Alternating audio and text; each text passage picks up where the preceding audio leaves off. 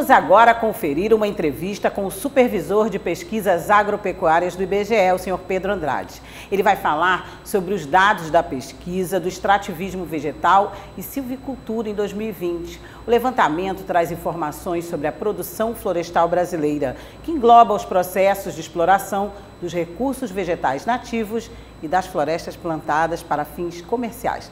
Bom dia. Bom dia. É um prazer tê-lo aqui no Dia Rural. Gostaria de, dentro desse contexto que eu falei, o que, que o senhor tem a destacar nessa pesquisa, já que hoje a gente é tão preocupado com essa questão das florestas?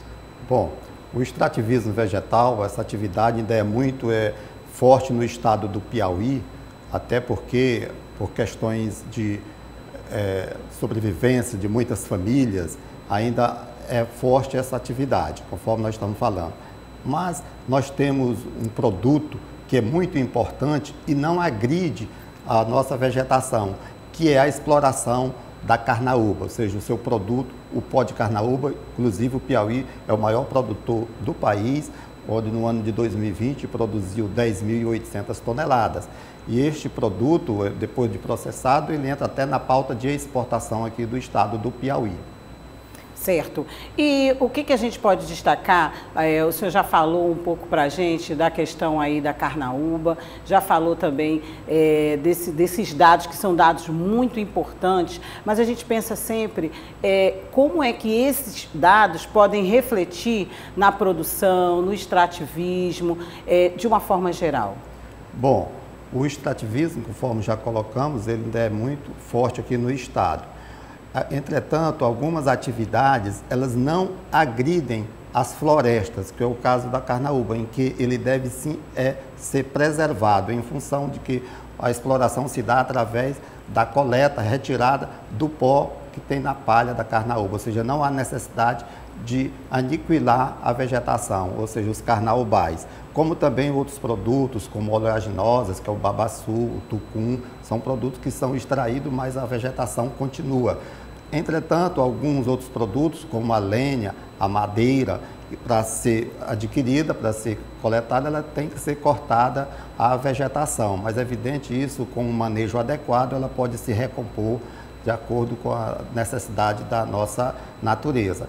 Enquanto que a silvicultura, que são florestas plantadas, apesar de ser incipiente ainda no Piauí em relação ao, ao país, ele está já é, em bom desenvolvimento aqui no estado do Piauí, apesar da redução recente que aconteceu com esta atividade, em função da frustração de uma indústria que seria instalada aqui no Piauí e não foi possível até o momento. Então, aquele plantio paralisou, inclusive está tendo até redução em função dos cortes do, da, do eucalipto, não está havendo a devida reposição dessas mesmas áreas, em função até da demanda, que com certeza ainda é incipiente aqui no estado do Piauí para os produtos provenientes do eucalipto.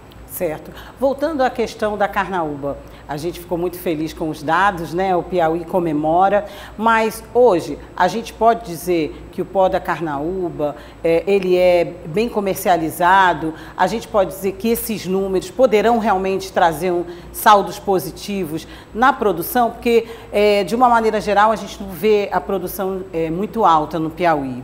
Bom, a exploração da carnaúba no Piauí já podemos até dizer que é secular. Inclusive, em décadas mais recentes, aí quatro, cinco décadas atrás, ele foi inclusive a base da economia de algumas regiões. E ela se mantém hoje com a utilização da cera de carnaúba, com produtos de tecnologias de ponta, é por isso que ele está na pauta de exportações para abastecer essas indústrias. E assim como temos é, uma cadeia de produção, ele atinge vários segmentos da sociedade, a partir daqueles coletadores de, do campo, depois os comerciantes e que depois passam para as indústrias. Todos eles é, têm a equipe de trabalhadores que são é, empregados nessas atividades. E, portanto, a economia é, faz está presente com essa atividade, até porque ela é uma atividade que começa a partir do, do, do nosso moradores que moram nas comunidades, em que já tem essa empregabilidade. Inclusive, no ano de 2020, é, a, o extrativismo no Estado foi mais de 200 milhões de reais aqui no Piauí, atingiu, foi colocado na economia, isso considerando apenas o produto primário, que depois todos os produtos são processados e vão sendo agregados valores. Por isso a importância é, das atividades, principalmente da exploração do pó de carnaúba no Estado, dentro da economia. E o senhor acha que com essa divulgação do IBGE, com esses dados tão positivos, eh, vai haver um incentivo maior e até também uma aplicação maior de recursos, de investimentos, políticas públicas, enfim, por parte dos governos? Bom, esta é uma atividade que, de certa forma, tem, tem que ser regulada como ela já é regulada por, por situações legais. Mas é, a gente observa que há alguns anos tem mantido o patamar em torno aí de 11 mil toneladas de pó retirada todos os anos dos carnaubais, mas é evidente, conforme já colocamos, sem prejuízo para essa floresta. E a, com esta atividade, com certeza, a, a, a gente abre espaço para maior eh, condições de explorações, inclusive considerando toda a legislação trabalhista que vem amparar todos que estão envolvidos nesta cadeia, e a economia só tem a ganhar, porque ela é uma atividade é, há muito tempo e com certeza vai seguir, e esses números se mantêm nesse patamar de 10, 11 mil toneladas ano, com certeza é em virtude não só da demanda que temos é, para fornecer às indústrias, mas também pela capacidade que tem os carnaubais de produzir esse pó. Ok, muito obrigada pelas informações, senhor Pedro, muito obrigada pelos dados, por essa avaliação e essas informações que traz aqui para a gente.